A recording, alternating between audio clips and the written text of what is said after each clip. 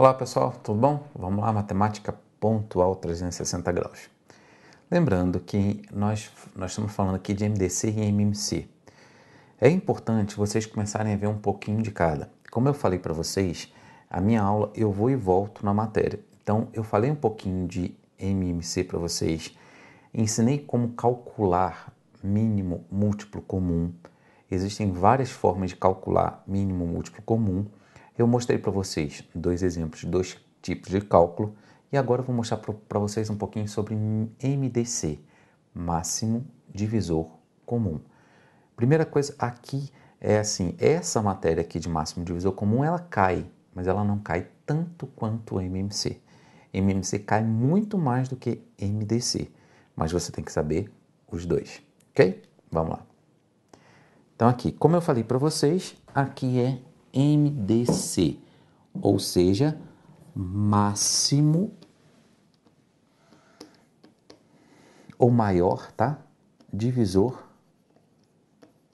comum, tá? Maior máximo divisor comum, ok? Então, nesse caso aqui, por exemplo, e se eu quisesse calcular ó, o MDC entre o 6 e o entre o 6 e o 12, por exemplo. Ó, qual é o maior divisor comum entre os dois? Nesse caso aqui, eu vou fazer o seguinte, ó, 6 e 12. Dá por 2, dá quanto? Fica 3, fica 6. Ok?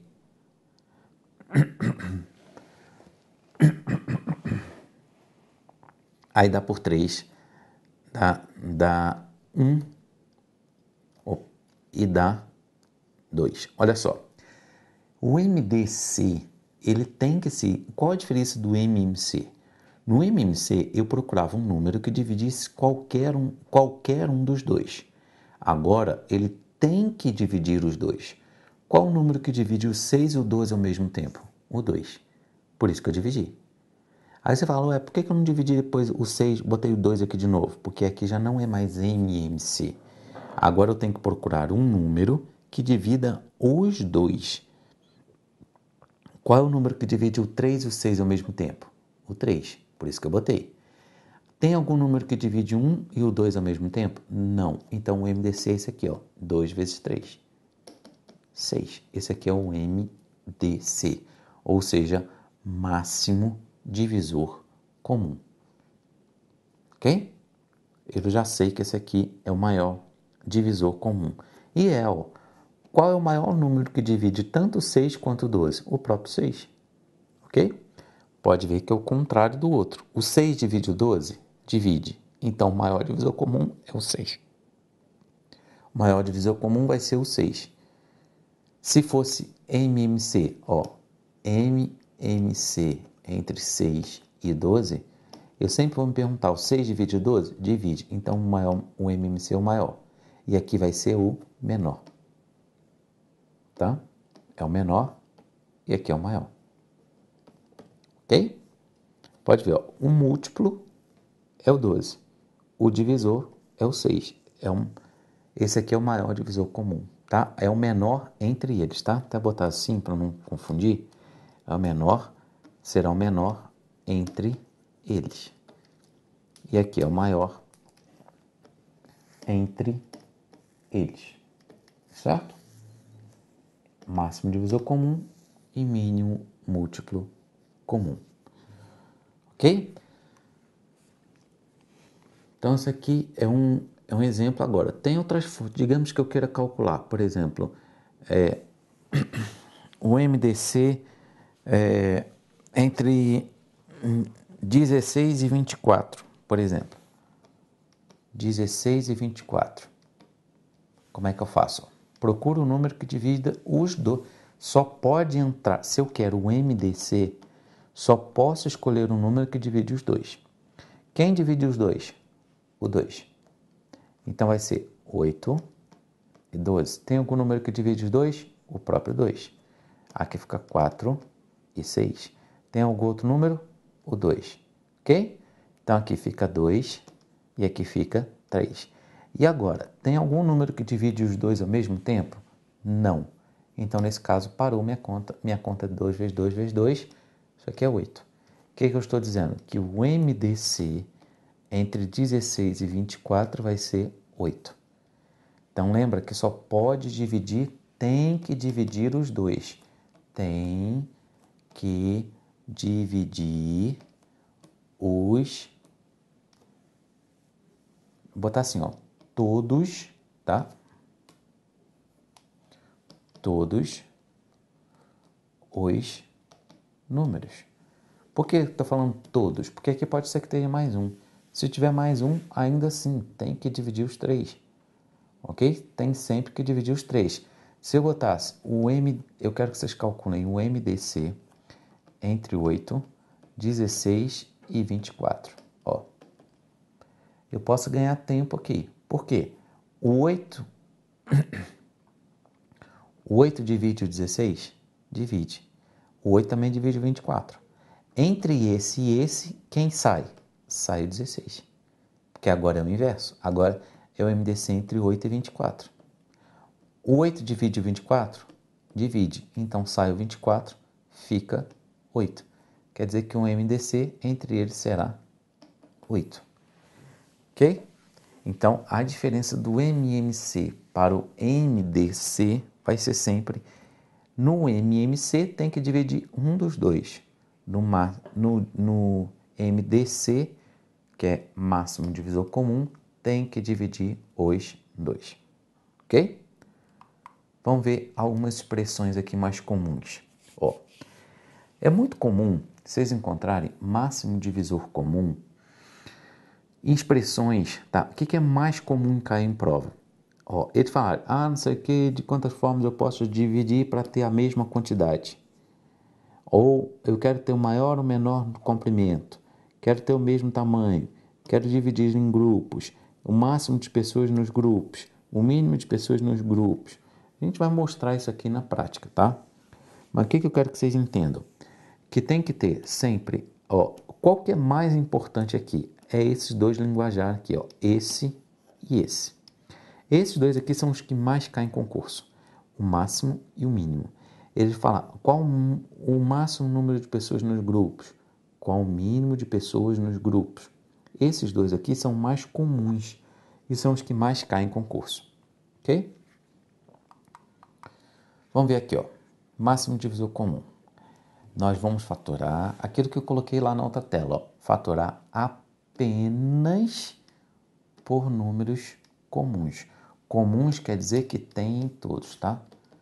Que tem em todos. Ok? Assim, o que restar será o total de grupos. O que, que eu estou falando aqui? Aqui é para vocês verem o seguinte, ó. Nós vamos fazer uma questão. Digamos assim, eu quero que vocês tirem o MMC, MDC entre 60 e 40. Ó, vamos dividir. Dá por 2, dá quanto? 30 e 20. Dá por 2, dá 15 e dá é, 10, certo? Qual, tem algum número que divide os dois? Tem, o 5, ok? Então aqui vai ficar 3, aqui vai ficar 2. Algum número divide esses dois aqui? Não. Então parou, a conta é essa. Quer dizer que o máximo divisor comum, 2 vezes 2, 4, 4 vezes 5, ou seja, 20. Tá? É, Agora olha só, vai ter vezes em que eu vou olhar, por exemplo, ó, 60 grupos, eu, isso aqui serão a, o total de grupos. Eu tenho três grupos, com, eu posso formar isso aqui ó, em três grupos com 20 alunos, se aqui fosse alunos, por exemplo. Eu quero, eu quero dividir isso aqui, eu tenho uma sala com 60 alunos e outra sala com 40 alunos. Qual uma... Aí você vai ver o tipo de linguajar que tem nos textos. A gente já vai procurar, vai entrar na questão, tá? Mas digamos que eu queira calcular um MDC entre os dois aqui, um máximo divisor comum entre os dois. O que, que isso aqui está te dizendo? Você pode, em um você vai formar três grupos com 20 e outro você vai formar dois grupos com 20, tá? Mas tem alguns tipos de questão que eu vou inverter a ordem. Eu vou falar daqui para cá. Eu, como assim? Eu vou falar, eu vou formar 20 grupos com três pessoas e 20 grupos com duas pessoas. Vai depender do tipo de questão. Quando eu olhar daqui para cá, ó, eu posso falar ó, 20 grupos com três pessoas. Posso, isso aqui é o que eu posso formar. Formar 20 grupos com três pessoas e 20 grupos com duas pessoas. Ok? Isso aqui é um, um tipo. E eu também posso falar, eu posso formar três grupos com 20 pessoas e uh, dois grupos com 20 pessoas. Vocês entendem que tem uma hora que eu vou ler daqui para lá e uma hora eu vou ler daqui para cá? Ó, uma hora eu leio daqui para cá e outra hora eu leio daqui para lá. Tá? Quando é que eu vou ler daqui para lá? Quando ele falar em máximo. Quando é que eu vou ler daqui para cá? Quando ele falar em mínimo. A gente vai ver já já quando é que, como é que seria isso aí na prática. Que tipo de questão é? Onde é que, como é que isso aí cai em concurso? A gente vai ver isso aí já já, tá? Então assim, o que, que eu quero que você entenda, tá? Ó, se daqui para cá, do 20 para cá, eu vou ler quando aqui, o problema falar de mínimo. Quando o problema falar de máximo, eu vou ler daqui para lá. Eu vou ler o contrário. Então lembre-se que aqui eu posso formar 20 grupos, tá? 20 grupos com três pessoas e 20 grupos com duas pessoas. Mas quando é que eu vou ler daqui para lá? Ó, 20 grupos com dois e 20 grupos com três. Eu vou ler aqui quando o problema falar em mínimo. Quando é que eu vou ler daqui para lá? Ou seja, três grupos com 20 pessoas e dois grupos com 20 pessoas, quando o problema falar em máximo. Ok? Então são dois tipos de problemas diferentes envolvendo esse assunto, tá? A gente já vai ver já já como que isso aqui cai em concurso. Que tipo de problema é importante vocês saberem envolvendo esses dois conteúdos. Ok? Então, olha só, aquilo que eu falei, ó, observar os mais comuns o máximo de pessoas num grupo, tá? máximo de pessoas num grupo. Quem vai ficar, ó, quando eu fizer assim, ó, fizer a barra aqui, quem ficar aqui embaixo será a quantidade de grupos. Quem ficar desse outro lá será o número de pessoas no grupo.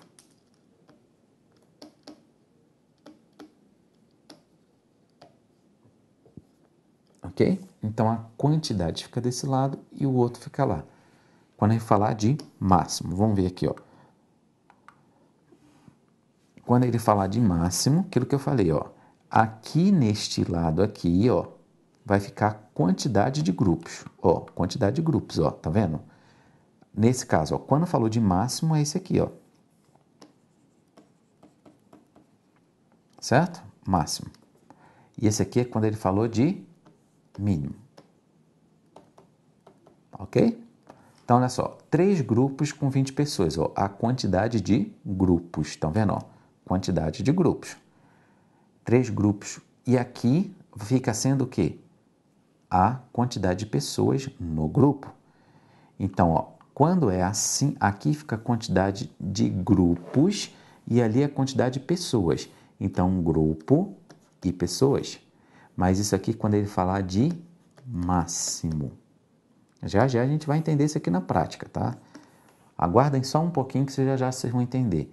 É porque quando eu explico isso aqui, é melhor primeiro eu explicar essa parte aqui e depois partir para o problema. E quando ele falar de mínimo, tá? Aí já inverte a ordem. Como é que vai ficar? Se eu passar a barra aqui, ó, esse aqui fica G e esse aqui fica P. Trocou a ordem. Aqui vai ser quando ele falar de mínimo tá? Ou seja, a quantidade de grupos fica desse lado direito e a quantidade de pessoas no grupo fica do lado esquerdo. Eu troco a ordem, tá? Então aqui, ó, neste caso aqui é quando ele falar de mínimo e no outro caso quando ele falar de máximo, tá? São coisas, são serão problemas diferentes, tá? Você vai ver que vai ter problemas em que eu, eu vou ter que calcular desse jeito aqui, ó. A quantidade de grupos está aqui, a quantidade de pessoas está lá. E aqui vai inverter. A quantidade de pessoas está aqui, a quantidade de grupos está lá. Ok? Se vocês tiverem assim, quando ele falar de máximo, para fixar melhor, quando ele falar de máximo, lembre-se que a quantidade de grupos está à esquerda. Tá? A quantidade de grupos vai ficar na esquerda. Quando ele falar de mínimo, a quantidade de grupos está na direita. Tá? Mínimo direita. Então, olha só. Quando ele falar em mínimo, nós vamos pensar à direita. Quando ele falar em, em máximo, a quantidade de grupos vai estar à sua esquerda. Isso aqui aparece um pouco confuso, parece, eu sei que parece, mas a gente vai ver que daqui a pouquinho vocês vão ganhar agilidade, tá? Vamos ver então como é que seria isso aqui na prática. Aquilo que eu falei, ó, MDC em M entre 40. Se ele quisesse calcular aqui, como é que eu faria? Eu faria daquele jeito que a gente fez, ó, 60, 40, para lá. Vamos pegar de novo esse número aqui. O que, que eu faria? 2, 30, 20. 2, 15, 10, 5, 2, 3. Não tem mais nenhum número que divide os dois ao mesmo tempo, parou. Ou seja, 4 vezes 5, certo? 20. Aí o que, que eu estou falando? Aqui tem 20, aqui tem 2, aqui tem 3. Agora, na hora de eu responder o problema, se ele falar o seguinte, ah, qual o menor número de grupos que eu posso formar para que tenha o máximo de pessoas possível? Máximo. Quando ele falar de máximo, tá? Máximo de pessoas no grupo. E aí, o que, que eu vou falar? É sempre daqui para lá, porque o grupo vai estar tá à esquerda. Vamos lá ver? O grupo, ó, quando eu falar de máximo, o grupo está à esquerda. Então, o grupo está à esquerda. Então, ou seja, que, o máximo de pessoas no grupo. Máximo de pessoas no grupo. E aí, como é que vai ser? Ó? Então serão três grupos de 20 pessoas, tá? E dois grupos de 20 pessoas. Isso é se for esta pergunta. Olha só, por mais que eu esteja voltando isso aqui, é, toma cuidado porque assim, didaticamente, eu sei que eu poderia mudar esse valor aqui. É fato. Ah, professor, por que você não bota outro valor? Porque a gente tem mania de ficar trocando ideias. Só que eu parto do princípio de você ver o mesmo filme mais de uma vez, tá? É porque aqui você já viu, então seu cérebro já prestou atenção em um detalhe. Agora, seu cérebro está prestando atenção em outro detalhe. Cada vez que você vê o mesmo filme mais uma vez, seu cérebro presta atenção em um detalhe diferente. É isso que a gente está tentando fazer aqui, mostrando para vocês o que que é o que, que seu cérebro tem que prestar atenção aqui? É, eu estou passando, entre aspas, o mesmo filme, mas isso é de propósito, isso é estratégico, tá? Passar o mesmo filme é estratégico, sim. Então vamos lá. E se ele me pedisse qual eu quero que tenha o um mínimo de pessoas no grupo? Ó, são questões diferentes, tá? Se ele quer que tenha o um mínimo de pessoas no grupo, eu agora vou trocar a ordem. Vai ser o quê? Ó? Agora, o grupo vai ficar onde? Na direita. Tá? Aqui o grupo fica na esquerda. Tá? Então, quando ele falar no máximo, ele vai, o grupo vai ficar na esquerda. Quando falar no mínimo, o grupo vai ficar na direita. Então, vamos lá. Agora, como é que eu leria esse problema?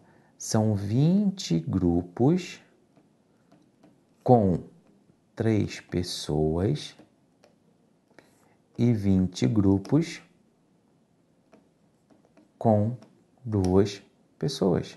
Já já vocês vão entender melhor. Porque primeiro eu estou mostrando o cálculo, como é que vocês calculam isso aqui. E depois vocês vão entender com, como que a gente vai resolver os problemas disso. Porque esse tipo de questão, gente, o que eles gostam muito é das pessoas se confundirem com essa jogada aqui. Eles sabem. Então, aquilo que eu falei, quando você vai fazer concurso, ó, existe um tipo de linguajar que é muito importante para vocês, ó. Ok? Lembra aquelas perguntas que eu fiz para vocês? Elas são importantes lá. Cada uma daquelas, elas são importantes para você. Ok? Mas dentre aquelas que eu falei que vocês têm que saber quando se refere a máximo divisor comum, o que, que eu falei? Essas daqui, de máximo de pessoas no grupo, de mínimo pessoas no grupo, isso aqui é o que mais cai em concurso. Tá? Mais cai em concurso. Tanto essa quanto essa. As duas mais caem em concurso. Tá? Essa jogada. Eles gostam dessa confusão. Vamos ver na prática. Para iniciar uma, uma visita monitorada a um museu, ó, isso aqui caiu na banca VUNESP, Prefeitura de Guarulhos, 2016. Para iniciar uma visita monitorada a um museu, 96 alunos do grupo do oitavo ano e 84 alunos do nono ano de certa escola foram divididos em grupos, ó. Já começa a desconfiar, divididos em grupos todos com o mesmo número de alunos. Opa, sendo esse o maior possível. Pronto, ó, gente, ele já te disse. O que, que ele quer que você faça? Tire o máximo divisor comum entre elas, de modo que cada grupo tivesse somente alunos de um único ano e que não restasse nenhum aluno fora desse grupo. Ele só está tentando te enganar, ele está tentando te fazer te cansar. Mas quando vocês verem isso aqui, ó, quer dividir em grupo, tá? Todos com o mesmo número de alunos. Sendo esse o maior possível, ele já está dizendo: olha, eu quero que você calcule o máximo divisor comum, certo? E depois eu vou ver qual a pergunta dele. Então, eu vou calcular o máximo divisor entre 96 e 84, certo? 96 e 84. Então, vamos embora. Vamos lá? eu tenho que procurar um número que divide os dois ao mesmo tempo, certo? Primeiro, dá 2, certo? 2. Eu já sei que aqui tem que dar 48, porque 48 vezes 2, 96. 84 dividido por 2, 42. Ainda dá por 2. Aqui vai ficar 24, aqui vai ficar 21, certo? Aí eu tenho que procurar um número que divide os dois ao mesmo tempo. O 3 divide. Então vai ficar 7, 24 dividido por 3, 8. Tem algum número que divide 8 e 7 ao mesmo tempo? Não. Então parou minha conta. Minha conta é ali. Então 2 vezes 2, 4, vezes 3, 12. Então agora, olha só. Agora, na hora de eu responder o problema, eu vai depender do que, que ele está querendo se é o máximo, se é o mínimo. E ele falou para mim que ele quer o maior possível, sendo esse número o maior possível, tá? Todos com o mesmo número de alunos, sendo esse o maior possível. Aí ele pede, nessas condições é correto afirmar que o número total de grupos formado foi. E aí?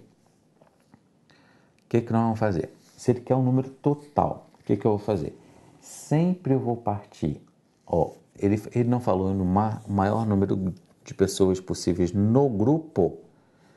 Então você prefere formar 12 grupos com 8 ou 8 grupos com 12? Onde é que você tem o maior número possível?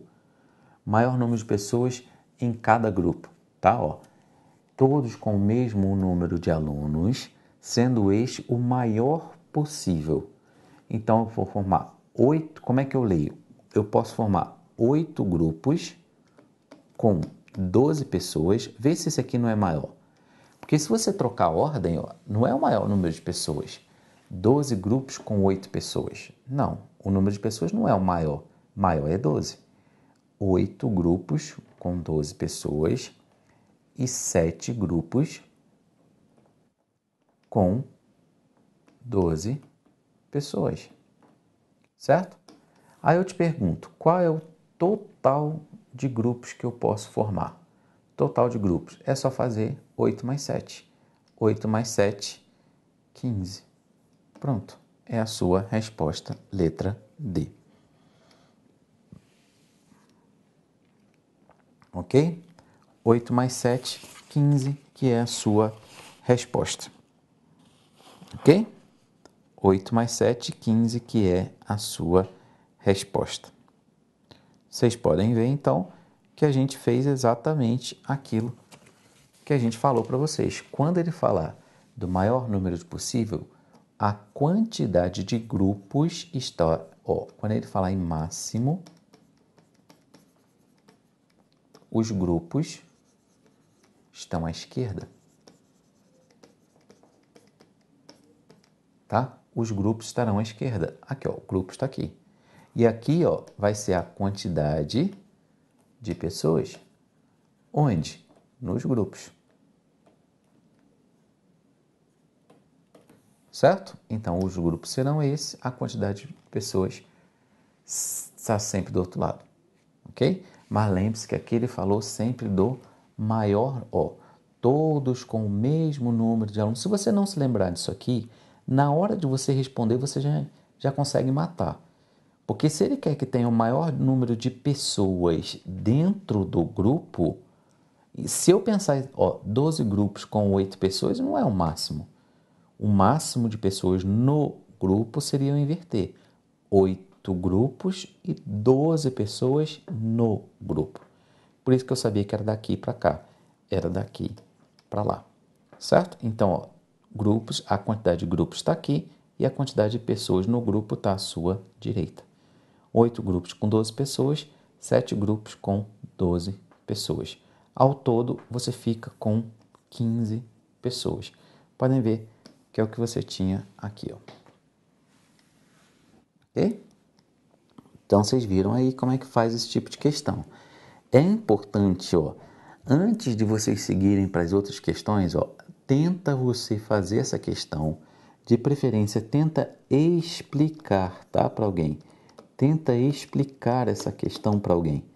É muito importante que você entenda a forma de resolver essa questão. Ela é fundamental para a sua aprendizagem, tá?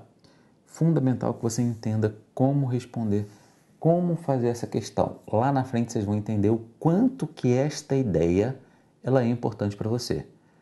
Porque ó, você está vendo aqui, mesmo você fale, professor, minha banca não é a VUNESP. Eu só pego questões que foi importante para você chegar, para você chegar na compreensão do conhecimento. Então imagina uma teia de uma teia aqui, ó. Às vezes uma questão vai ser da ESAF, outra questão da VUNESP, outra questão não sei o quê. Eu vou construindo uma teia de conhecimento. E essa teia aqui é o que a gente chama do 360 graus. É você rodar nas bancas todas para saber o que é mais importante você aprender em cada uma delas. Cada banca tem um recado importante para te dar. O que eu estou tentando fazer é mostrar para vocês o que essa banca VUNESP quer te passar. O que, que é importante você entender da VUNESP, tá? Então aqui é importante vocês entenderem essa questão. Não vai por mim, Aprendam essa questão. Ela é muito, mas é muito importante para você não cair em peguinhas de examinador, não cair em peguinhas de concurso. Muita gente acaba deixando essa questão de lado, achando que essa questão aqui, ah não, isso aqui não cai assim não. Vai por mim. Qualquer concurso que vocês fizerem que tiver MDC e MMC, essa questão aqui é uma das primeiras que você tem que saber. Tirando aquela de MMC, lembra que eu falei de encontrar novamente aquela que a gente fez? Tirando aquela lá, aquela está em primeiro lugar. Qual é a questão que está em segundo lugar? É essa daqui. Saibam fazer essa. Vocês vão entender lá na frente a importância dela. Só saiba, só refaça, refaça, que logo logo vocês vão entender o porquê disso aqui. Só me dá um tempo, vamos seguir no curso, vocês vão entender. Ok? Bem, hoje a gente vai ficando por aqui. Aguardo vocês na próxima aula. Até lá. Tchau, tchau.